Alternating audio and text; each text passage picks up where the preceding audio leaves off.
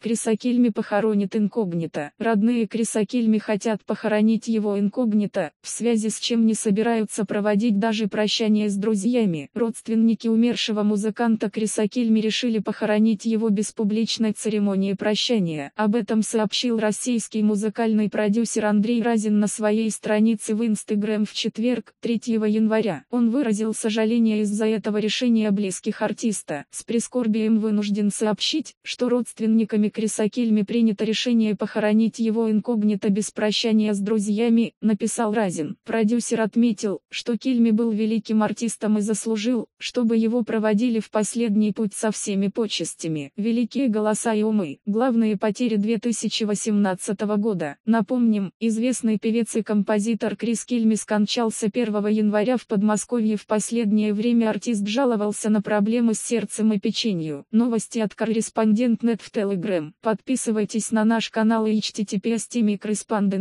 По материалам сайта Newsgro.com.